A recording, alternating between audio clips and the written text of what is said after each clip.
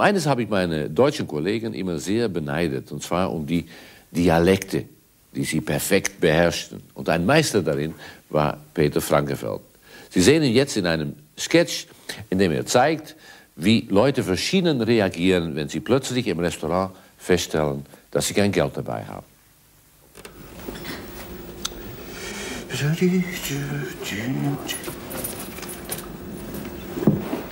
Oh, das gibt's doch gar nicht. Ah, hören Sie mal, das sind doch Herrschaftsbosse. Ich. Herr Uwe? Ja. Ah, du sie mal zusammenschreiben. Ich hatte diese Handcase mit Musik, also ich meine die mit Essig und Öl. Und das hatte ich, äh, ich habe drei Portionen, glaube ich. Die war auf der Karte war es aufgeschrieben mit 1,40. 1,40. Da hatte ich noch fünf Schnäpschen und da hatte ich ein Bierchen. Wie viel Bierchen? Acht. Acht Bierchen? Eieieiei. Acht Bierchen. Was sind Sie da rumgelaufen, ne? Die Schweine ist ja... Entschuldigen Sie bitte. Das muss von einem Case sein. Sie, der war so sauer. War der gut angemacht? Ich hab... Oh, direkt auf der Milz. Ich hab Stich. Och, hab ich Stich auf der Milz. Och, das wird ja noch schlimmer, wenn ich aufstehe. Och, Gefert. Ei, Herrschaften. Och, Herr Sie mal, das sind ja Ihnen. Ich will Ihnen mal was sagen. Das war eine richtige Vergiftung. Käsevergiftung war das. Ach, hören Sie mal, ich, wissen Sie, was ich mache? Ich gehe beim Untersuchungsrichter. Und das wird der feststellen. Wir sehen uns beide noch vor Gericht wieder. Sie limmeln Sie.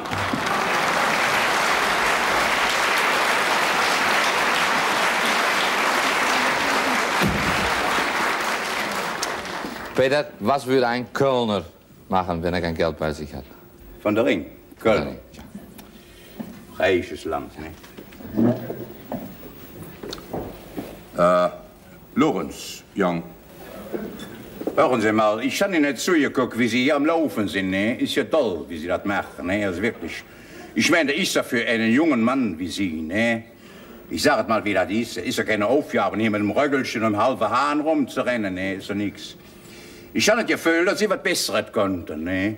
Hören Sie mal, ich habe ein Hüttenwerk, ne? Wissen Sie, was Hüttenwerk, ne? Ich gebe Ihnen mal meine Karte mit. Dann melden Sie sich mal bei mir im Büro, eine Sekretärin schon, ne?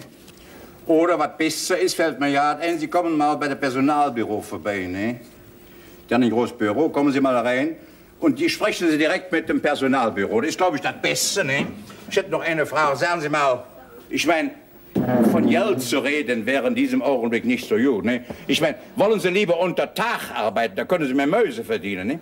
Dann melden Sie sich mal in einem anderen Büro, das ist die Visitenkarte. Wiedersehen, Mann. Ich freue mich auf Ihnen. Danke, danke. Hey! Ja?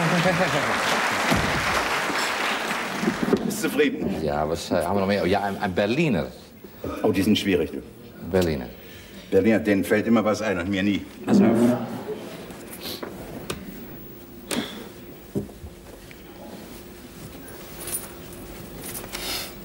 Moment. Das ist weg verreckt, Mensch. Hör mal zu, Mensch. Ich hab da vorhin noch 8,50 Mark gehabt. Alles in Scheine. Was ist denn so was? möglich? Das muss ich verloren haben. Heben Sie mal den Fuß hoch, Mensch. Na, wo gibt's denn? Hat das vor der Türe verloren? Kommen Sie. Sie brauchen keine Angst haben. Ich lasse Ihnen zwar sicher die Serviette da nicht, aber ich meine, ich habe doch das Geld hier noch vorhin gehabt, Mensch. Wo gibt's denn so was? Wollen Sie eine Uhr kaufen? Nein, danke. Das heißt, ich Ihnen mal sagen, Sie brauchen sie nicht zu kaufen, die kann ich bezahlen, meine Kohlen sind weg, wa? Hier, haben Sie eine Uhr, wa? Können Sie nehmen, gehört Ihnen, ist die Sache in Ordnung, wa? Und dann, äh, Sie geht nicht. oh, den kriegen wir wieder. Nur jetzt. Aber falsch. Geht falsch. Passen Sie mal auf, ich muss sowieso noch am Bahnhof vorbei, da stelle ich Ihnen die gleich richtig ein, ja?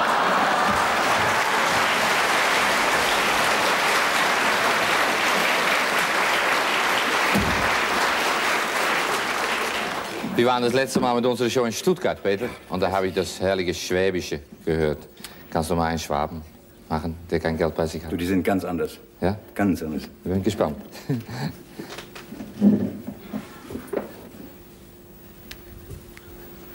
Hallo. Das ist so blöd, ist das jetzt auch. Hören Sie, Oberle. Ah, das sind Sie. Hören Sie, ich sag Ihnen etwas. Jetzt wird's grauslich. Setzen Sie Ihnen nieder, ich glaube, Sie werden es brauchen. Ich sag's Ihnen halt, wie es ist. Ich habe seit drei Tagen nichts mehr gefressen. Ist wahr. Und da habe ich ein Restaurant gesehen, da bin ich neu und habe mir gleich so eine richtige Portion in mir reingepflanzt. Ich bin ein Halbtagli, ich bin ein Bläder. Jetzt passen Sie auf. Ich habe kein Maus an der Tasche. Denn Sie mit mir, was Sie wollen. Was Sie wollen, ist mir ganz egal. Nur eins, bitte schlagen Sie mir nicht. Bitte schlagen Sie mir nicht, bitte. Das kann ich nicht vertragen auf der vollen Magen jetzt. Ja, aber Sie können doch nicht essen und trinken, ohne zu bezahlen. Nein? Nein? Ah, Sie haben es doch gesehen. Es ging. Aber jetzt schauen Sie. Das ist mir so saublöd. Ich bin eine ehrliche Natur. Ich bin eine ganz ehrliche Natur. Ich sag's Ihnen, wie es ist. Wir machen folgendes, ich werde es abarbeiten, verstehen Sie? Ich gehe jetzt in Ihre Küche und werde abwaschen. Ich glaube, das ist das Beste. Ich gehe in die Küche und du abwaschen.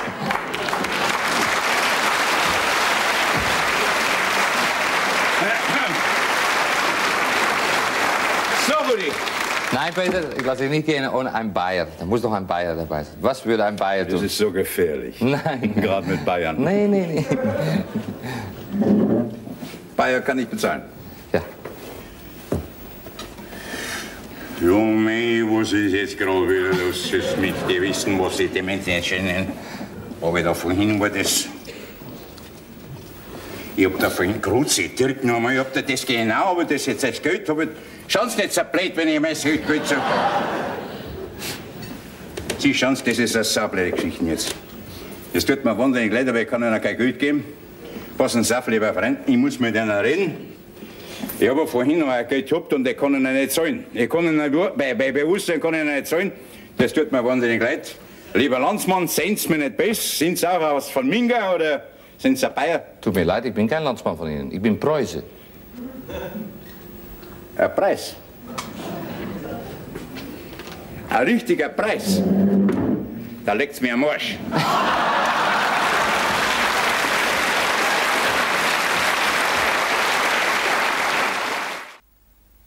Wissen Sie, dass es in ganz Afrika nicht einen einzigen Komiker gibt? Woran das liegt? Ich weiß es, weil da immer die Sonne scheint. Für Komik braucht man Regen, Sturm, Schnee, Hagel und so weiter. Mir ist bei einem Urlaub in der Sonne noch nie ein Gag ein- oder aufgefallen. Überlegen Sie mal hier, hier das, das kleine Land, auf diese Globus ist mehr ein kleiner Mückenschiss, da, das ist die Schweiz. Und in diesem kleinen Land leben mehr Komiker als in ganz Afrika. Und dabei sind die Schweizer noch nicht unbedingt das lustigste Volk der Erde. Und ein Schweizer fällt total aus der Rolle. Er heißt Alfredo und er sorgte dafür, dass meine erste am laufenden Bandsendung nicht nur allein durch die Kandidaten ein Erfolg wurde.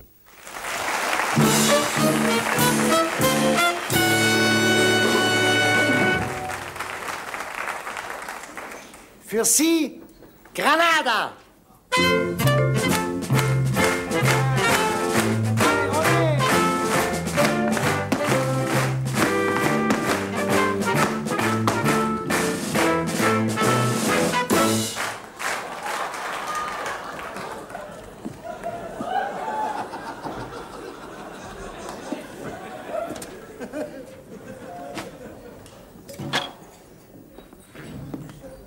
Granada!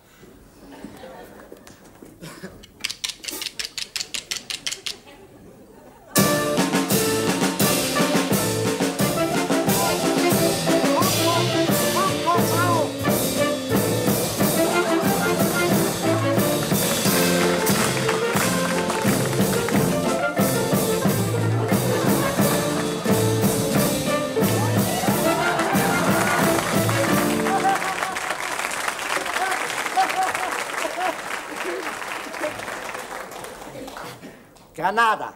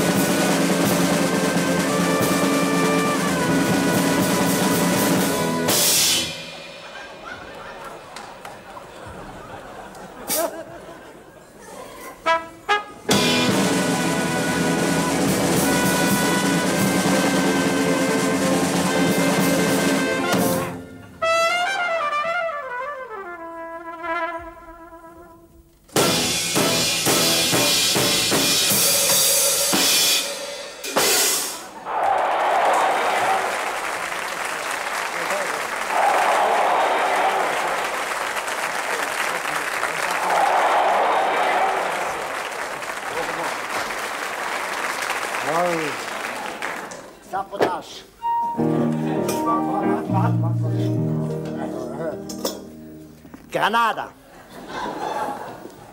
Oi, oi, oi, oi. Oi, oi, oi, oi, oi, oi. Sandwich. Caramella, Schokolade. Granada. Hallo.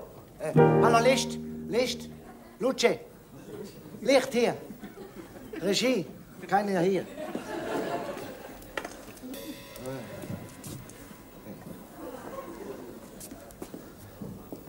Beste Idee. Oh,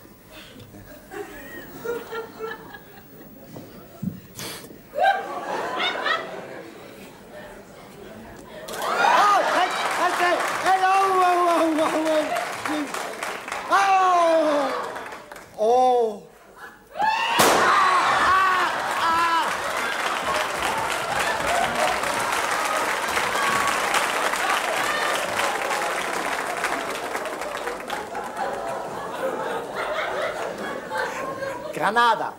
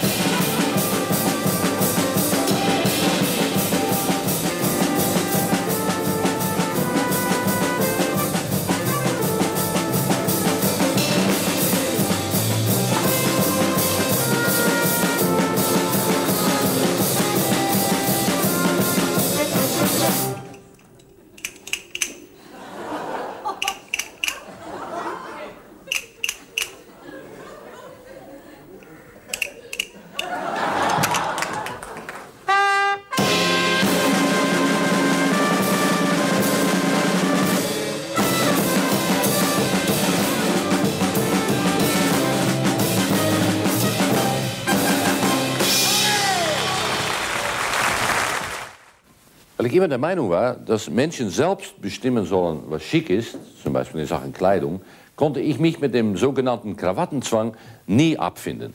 Man kann sich kaum vorstellen, dass man vor 20 Jahren ohne so ein Ding in keinen Nachtclub oder kein Spielcasino kam.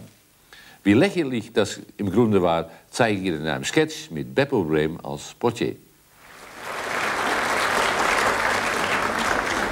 Guten Abend, auf Wiedersehen. Danke sehr. Geizkrom.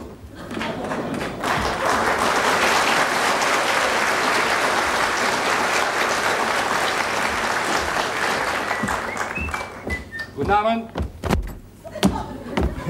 Oh, entschuldigen Sie. Guten Abend. ja, ich bin schon über 18.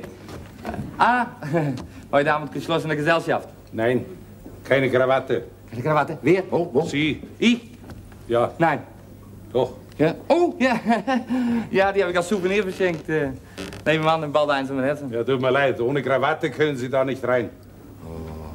Das muss doch gehen. Nein, wirklich nicht? Nein. Kann ich da nicht, nicht rein? Nein. Filthiger Terminimann! Ups, you- Hey! Und, und er darf rein, er stinkt besoffen. Schon. Aber er hat eine Krawatten.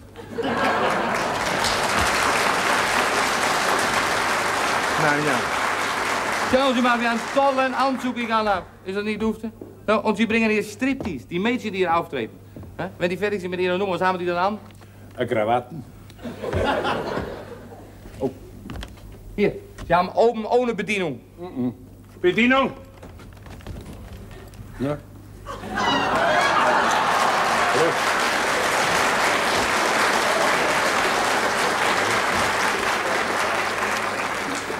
Krawatten. Ich gebe Ihnen eine Mark, lassen Sie mich durch. Ja? Nein. Ohne Schlips kein Schwips. Geht das wirklich nicht? Guten Abend.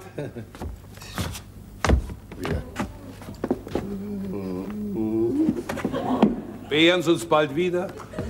Und, und er durfte rein. Er hat eine Krawatten. Leihen Sie mir Ihre Krawatte. Nein, das geht nicht.